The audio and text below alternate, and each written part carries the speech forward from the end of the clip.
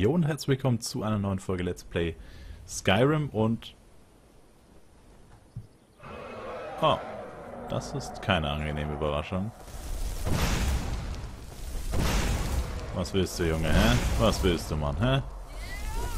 Wow, holy shit, wo sind die denn her? What? What's happening, dude? Oh, die haben mich jetzt kalt erwischt, muss ich sagen. Heilige Scheiße, die haben mich richtig kalt erwischt. Ah, wo ist der Drache? Ich weiß es nicht. Da schießt noch jemand. Ach, der Drache greift mich gar nicht an. Lol. Alter, der Typ in dem Busch, holy shit, ich habe ihn jetzt legit nicht mehr gesehen.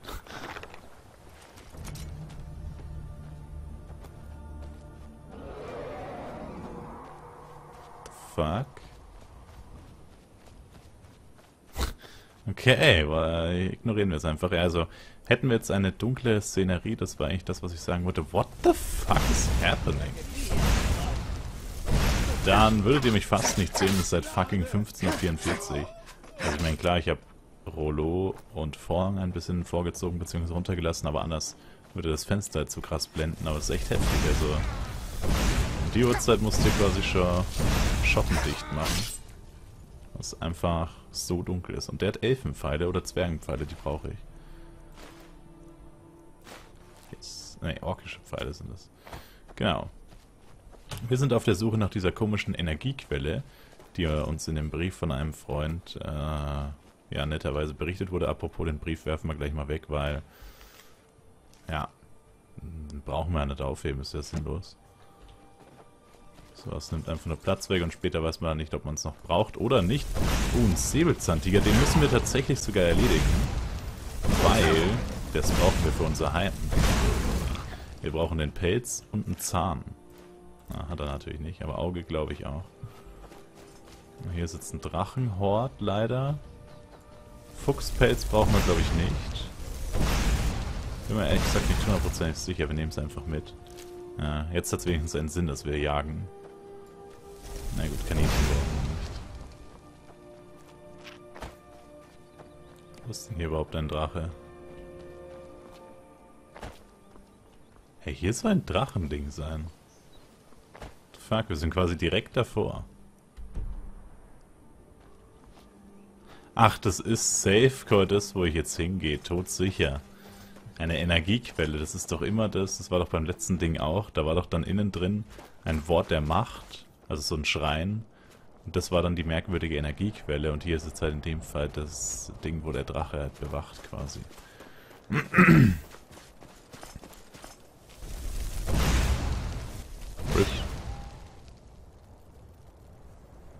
Okay, übertreib.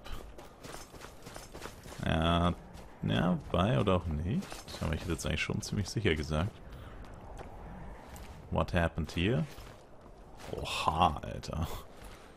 Ja, ist schon geil. Wenn man ein höheres Level hat, findet man nur noch geile Zaubertränke. Die haben halt auch dann wirklich was bringen. Das ist schon gut. Und das hört sich nach einem Bären an. Oh, das dürften zwei... Alter, zwei Schneebären. Oh.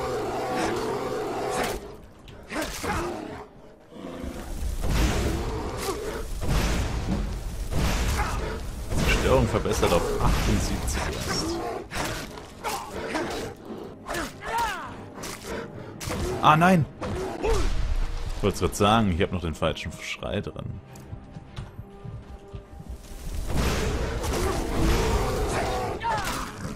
Holy shit, das war knapp. Ja, ich wollte nämlich gerade unerbittliche Macht machen, deswegen habe ich den quasi so dämlich äh, angeguckt und nicht mehr gegen ihn gekämpft. Weil ich den eigentlich wegschleudern wollte, aber das hat dann nicht wirklich funktioniert, wie ihr gesehen habt. Genau. Was ist das hier? Oha. Hä, was? Hä, wie kommt man da rein? What? Oh.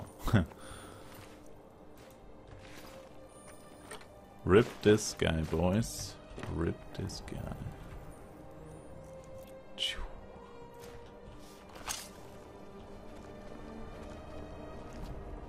Nope. Kommen wir echt nur durch dieses eine Ding durch, Rip. Ist ein bisschen unlogisch, aber ja, passt schon.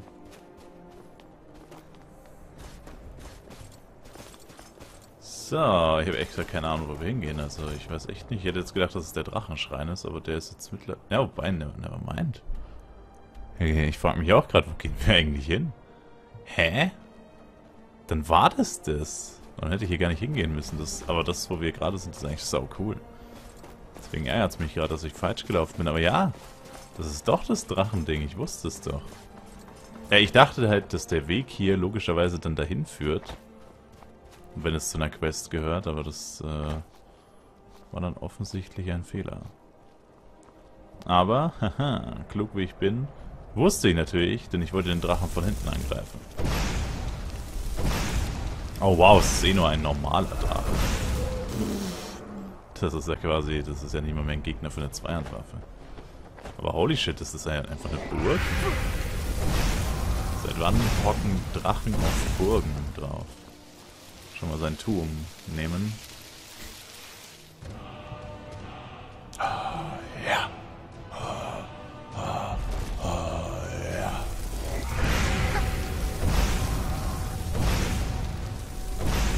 Oha, ist der schnell weggeflogen.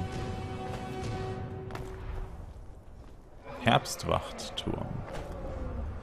Der Körper der Werwölfe, das klingt interessant, das nehmen wir. Na, ich loot jetzt erstmal. Schon wieder 25 Schaden. Die ist also dann sau wenig wert und ja, die nehme ich gar nicht mit. Das ist ja nicht mal. Das ist die Mühe ja nicht wert. Komm her, Boy.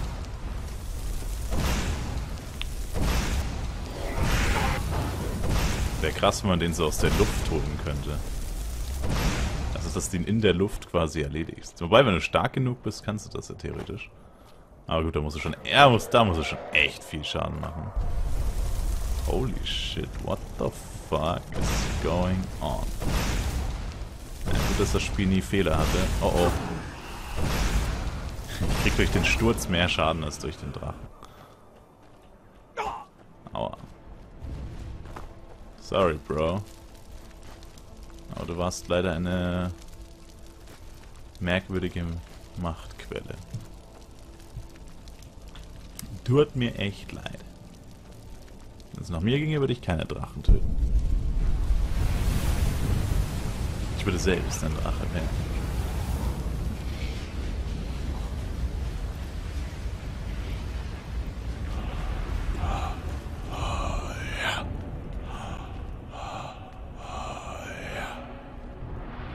Schmiede, Hammer und Amboss, das kennen wir schon.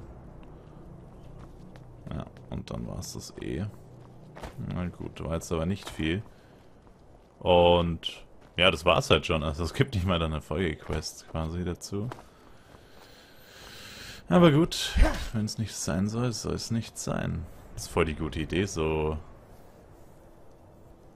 kann man so einen Turm deutlich windfester machen, indem man da so ein Lederfoss vor die Öffnung entspannt. Journey. Ah, okay. Sein Fertigkeitsbuch, weil es 50 kostet.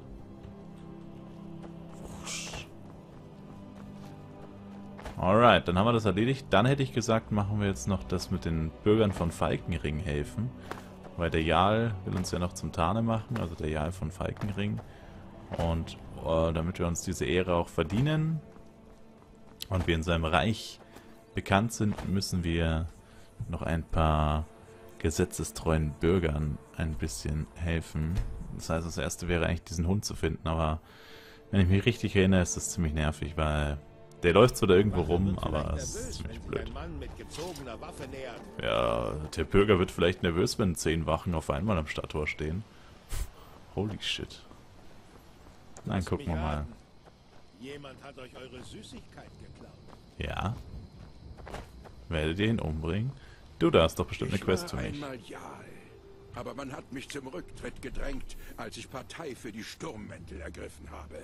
Das war eine kaiserliche Intrige, sage ich euch. Ihr sagt, es gibt eine Verschwörung gegen euch? Nicht gegen mich, gegen ganz Falkenring. Diese kaiserlichen Knilche spionieren uns alle aus. Letzte Nacht habe ich Lot den Schmied einen Brief schreiben sehen. Wahrscheinlich eine Botschaft für Einsamkeit und General Tullius. Seid ihr Himmelsrand treu ergeben? Brecht in Lots Haus ein und besorgt diesen Brief. So soll es geschehen. Gut. Ihr sagt, ihr wart früher der Jarl? Ja, vor nicht allzu langer Zeit. Manche erzählen euch vielleicht, dass ich aufgrund meines hohen Alters abgedankt habe. In Wahrheit habe ich herausgefunden, dass es in Falkenring von kaiserlichen Spionen wimmelte. Sie haben die richtigen Leute geschmiert und sich Freunde gekauft. Plötzlich wurde unter den Adeligen der Ruf nach einem neuen Jahr laut, während in ihren Taschen kaiserliche Septime klimperten. Sie ernannten mich zum Tane und ersetzten mich durch meinen Neffen Sidgeier. Der ist ein wahrer Freund Cyrodiils. Der heißt doch Sidgeier, nicht Sidgeir. Passt auf, was ihr sagt. Das Kaiserreich hat in der ganzen Stadt Ohren. Okay. Chill out, dude. Sprich mit Lot und stehe den gefreiten Brief. Was für eine Überraschung. Das ist beides in Lots Haus. Hm. Ja, ich speichere einfach hier ab. Und dann brechen wir mal ein. Vielleicht checkt das ja nicht. Wenn er schläft. Kann man nicht.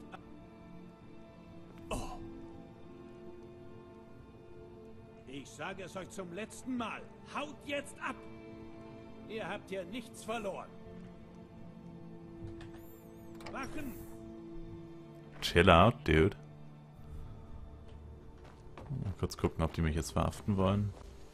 Ich habe großen Respekt vor der Schule der Wiederherstellung. Okay. Ja gut, dann müssen wir halt einfach warten, bis der Typ in der Schmiede arbeitet. Ich schätze mal so 10 Uhr müsste eigentlich reichen. Das gibt's ja nicht. Arbeitest du nicht, Lot? Was ist denn los, Lodi Boy? Jetzt legt er sich schlafen.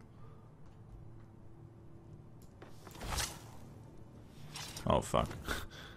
Ah, da ist der Brief. Ihr habt, ihr habt hier nichts zu suchen. Ja, dann, dann steh halt auf, Alter, und schließ dein Haus ab, wenn du nicht willst, dass einer reinkommt. Meine Fresse, was ist das denn für eine schnippische Diva? Da bricht man zweimal in sein Haus ein und der ist gleich mad auf mich. Okay, jetzt holen wir uns erstmal den... Ja, wobei. Ja, doch.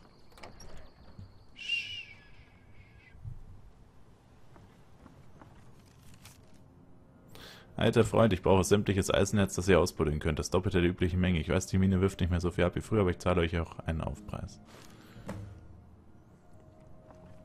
Okay, entweder ist das eine verschlüsselte Botschaft oder der alte Sack ist einfach nur senil.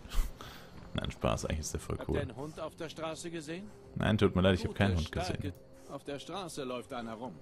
Ich schaffe es nicht, ihn zu fangen. Könnte aber ein wildes, treues Tier als Begleitung gebrauchen. Wenn ihr ihn für mich fangen wollt, gebe ich euch frisches Fleisch, damit ihr ihn auf der Straße anlocken könnt.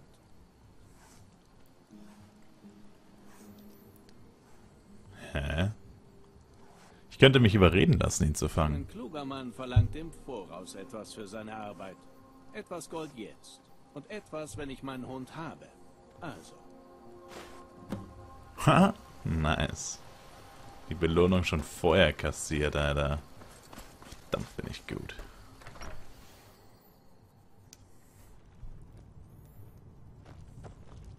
Ich war einmal Jarl. Hier ist Was Lots das? Brief. Etwa irgendeine Chiffre? Brauche so viel Eisenerz, wie ihr ausbuddeln könnt. Er spioniert zwar nicht, aber damit steht fest, dass das Kaiserreich Lot neue Schwerter und Rüstungen schmieden lässt. Gute Arbeit, nehmt das.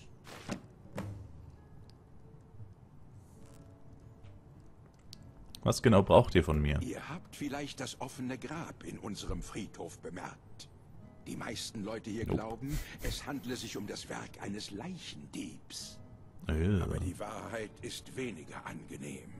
Es ist Zombies. wahr. Das Grab von Viga, meinem eigenen Vorfahren, der seit Jahrhunderten tot ist. Er ist auch ein Vampir. Meiner Familie obliegt es, dafür zu sorgen, dass er unter der Erde bleibt. Doch vor kurzem wurde der Schutzstein gestohlen und Vigar entkam. Und ihr wollt, dass ich den Schutzstein finde? Nein, für den Schutzstein ist es zu spät. Vigar muss vernichtet werden. Falls das herauskommt, würde meine Familie große Schmach erleiden. Ich werde dafür sorgen, dass Vigar zerstört wird. Gut. Er wird geflohen sein, um seine Artgenossen um sich zu scharen. Nice. Oha. Das ist eine chillige Quest, Alter. Ein Vampir jagen, Alter. Richtig geil. Also, meine ich jetzt ernst, das ist ja richtig chillig. Ich muss nur mal kurz gucken mit dem Hund. Finde den Hund vor Falkenring. Hat sogar eine Markierung. Sonst wäre ich jetzt einfach die Straßen abgelaufen. Ah. Ah, da ist er ja.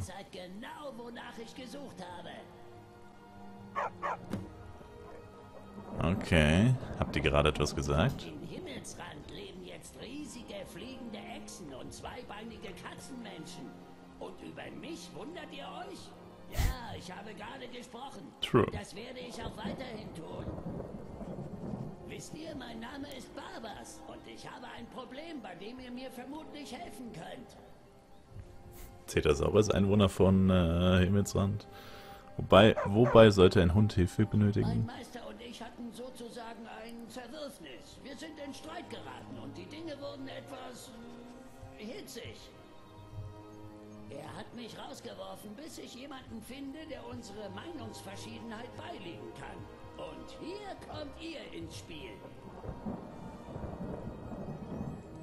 Hört sich einfach an, machen wir uns auf die Suche. Danke.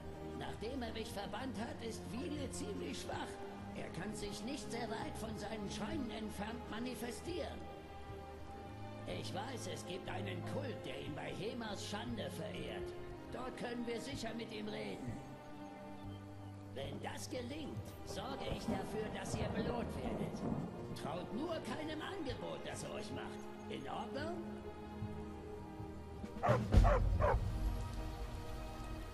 Der beste Freund eines Daedra. Na gut, dann machen wir das zuerst, machen wir das mit dem Vampir danach. Aber dann haben wir das eh schon erledigt, dann sind wir schon Tane. Beziehungsweise wir werden Tane. Ja, genau. Tritt mal ein bisschen aufs Gas, Boy. Ich bin hier der Mensch, du bist hier der Hund.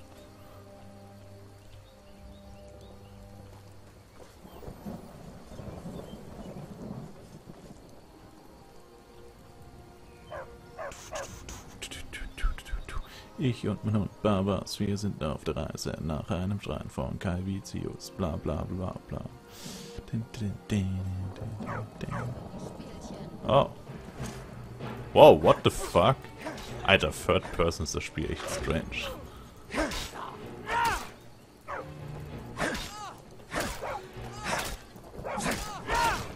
Fuck. Aber eigentlich muss ich ja Zerstörung trainieren.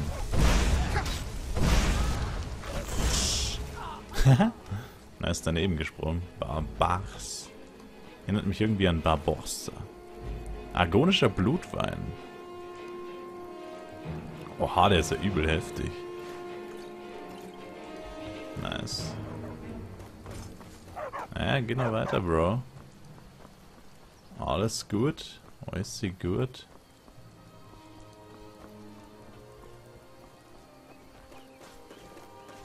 Okay, hat nicht zum Entdecken gereicht, darüber zu latschen. Aber ist denn dieser Schrein? Der ist ja 5 Kilometer fucking nochmal entfernt. Das ist ja unglaublich.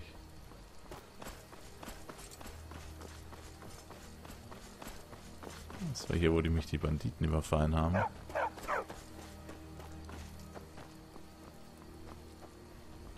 Beziehungsweise überfallen wollten. Was machst du?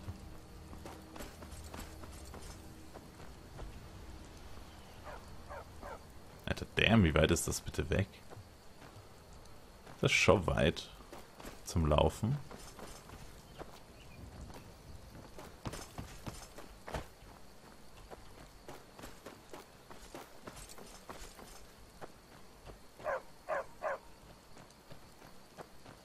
Alter. Are you fucking serious? Hier ist ja mein Haus, gell? Haus Seeblick ist hier in der Nähe. Da drüben steht's. Da steht's, das größte Haus, das beste Haus in der Geschichte der Menschheit. Den Elch brauchen wir. Für eben besagtes Haus.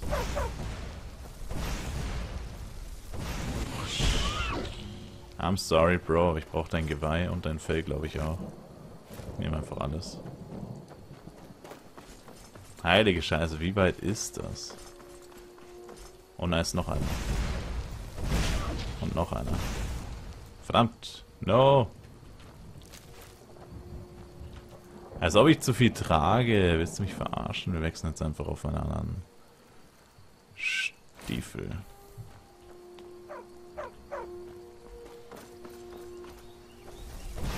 Snipe. Snipe. Okay, nice. Damit müssen wir theoretisch drei neue Sachen bauen können. Sehr gut. Das machen wir jetzt natürlich nicht. Das tue ich alles in diese Truhe rein und dann kommen wir irgendwann nochmal mit 20 Stahlbarren und 40 Eisenbarren dahin. Alter, das ist halt legit fucking Festung Helgen hier.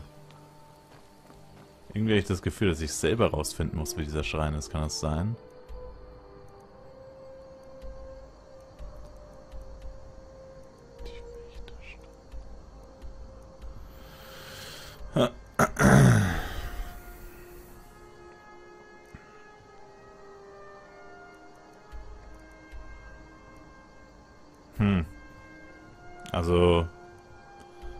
Macht das nicht viel Sinn. Oh, was macht er jetzt? Uns nochmal mit dem quatschen.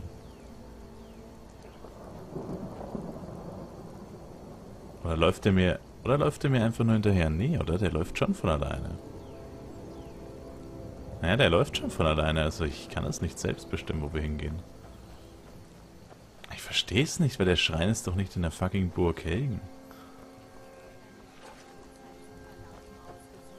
Oh fuck.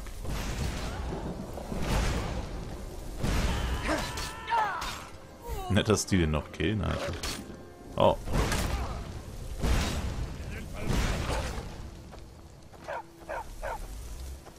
Waren wir hier nicht schon mal? Und haben gegen Banditen gekämpft? Ich glaube schon.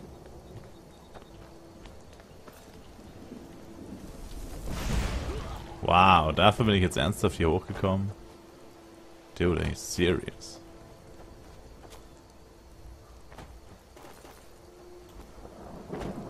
Oh, thank you. Thank you, thank you next. Thank you. Okay, ich soll nicht zu viel singen, sonst wird noch gecopyright striked. Kappa.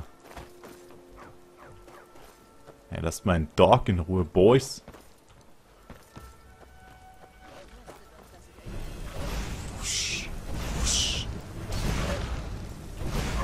Der Banditenmarodeur. Oh, da ist sogar ein Bandit, der zaubern kann. Das ist ziemlich selten. Ich hoffe, der kann nicht draufgehen, der Hund. Sonst wären das vielleicht zwei gescheiterte Quests. Ja, wenn die sich nicht bewegen, äh, wenn die sich nicht wehren, dann sind sie ganz schön schwach. Denkt man gar nicht. Okay. Jetzt will er wahrscheinlich durch das Tor, oder? So übertrieben weit weg, ohne Scheiß. Muss ich sogar aufschließen, das Tor, RIP.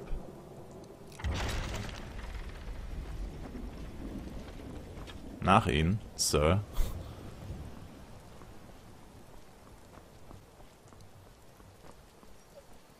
Ja, was ist? Go, go, Power Rangers. Da, da, da. Go, go, Power Rangers.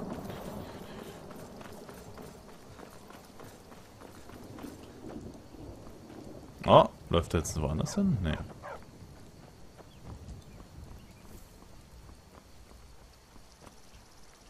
Alter, ohne Scheiß, wir sind halt... Schaut euch das mal an, wie weit wir von Falkenring einfach weg sind. Halt, die Quest ist ja nicht mal ansatzweise in der Nähe. Schon mit diesen ganzen lästigen Unterbrechungen immer noch dazu. Richtig crazy.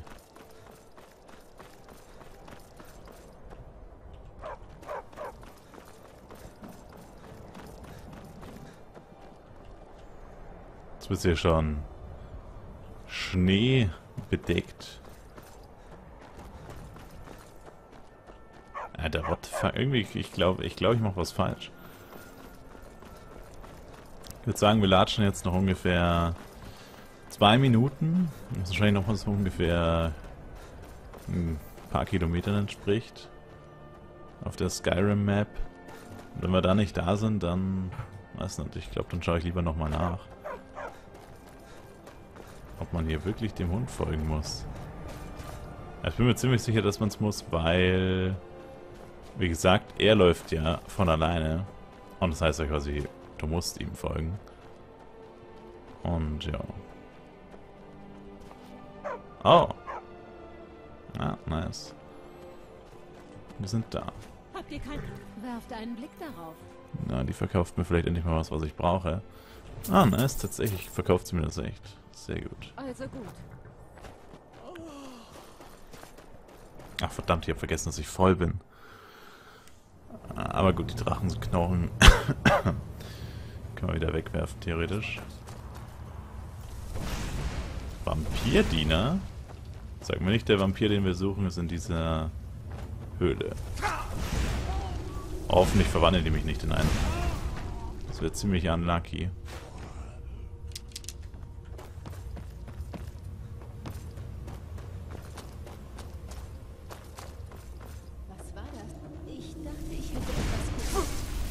Du hast dich infiziert mit Sangurinare Vampiris. Leck mich, Alter. Leck mich. Nicht schon wieder diese Drecksscheiße. Hasse Vampir so sehr. Also seit wir kein Vampir mehr sind, ich weiß gar nicht, ich habe mich ungefähr nie wieder aufgeregt darüber. Holy shit.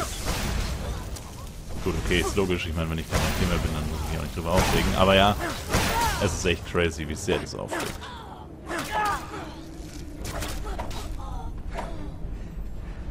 Vor allem ist es halt... Ich meine, sicherlich ist es nicht schlecht, also es hat schon seine Vorteile. Aber im Großen und Ganzen ist es halt schon ziemlich nervig. Und vor allem, wenn du diese Vorteile halt nicht gerne nutzt, weil es halt einfach nicht dein Kampfstil ist. Ist ja dann einfach blöd.